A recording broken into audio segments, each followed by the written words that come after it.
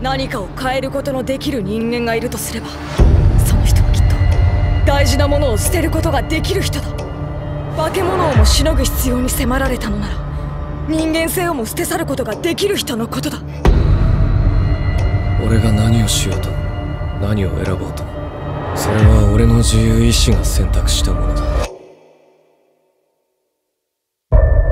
みんな何かに酔っ払ってねえとやってられなかったんだな。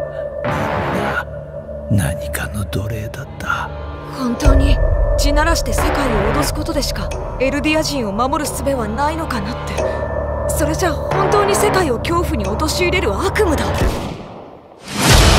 類が一人以下のどって人同士の争いは不可能になります。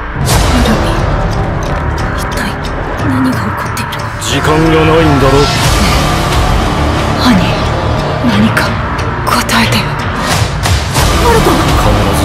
救ってあげよう。間違いねえ。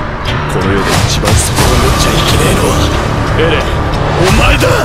絶対に取り返さねえこの世界は残酷だ。そしてとても美しい。お前らが大事だからだ。他の誰よりも。だから長生きしてほしい。お願い。帰ってきて。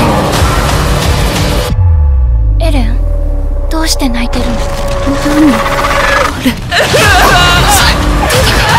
ごめんなさい。ごめんなさい